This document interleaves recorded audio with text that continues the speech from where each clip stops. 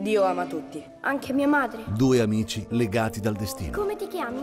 Mi chiamo Narciso. E io Boccadoro. Chi è il tuo migliore amico? Qui nel convento tutto il nostro amore è rivolto a Dio. Allora noi tre potremmo essere migliori amici. Non potevano separare le loro vite. Boccadoro è come un uccello in gabbia. Vorrebbe essere un monaco, ma i suoi talenti lo spingono altrove. Non potevano rinunciare alla libertà. Forse anch'io qui sono fuori posto! Sì, hai ragione, ormai tu qui sei fuori posto!